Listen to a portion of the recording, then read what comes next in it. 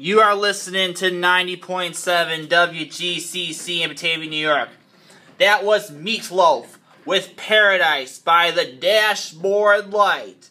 And that will wrap up my show for today.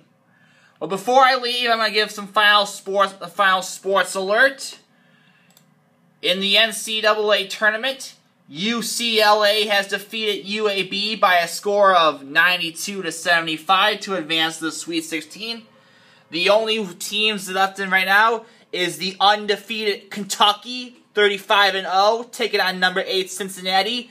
Kentucky has a 39 to 34 lead with 12:39 left in the second half.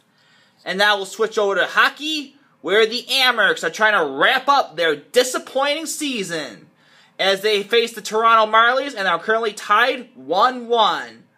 Hopefully, once we get the Sabres get good, they, they can put, have enough to provide the Amerks a good team, and we can only hope for next year. That's a word next year, a word we often get around.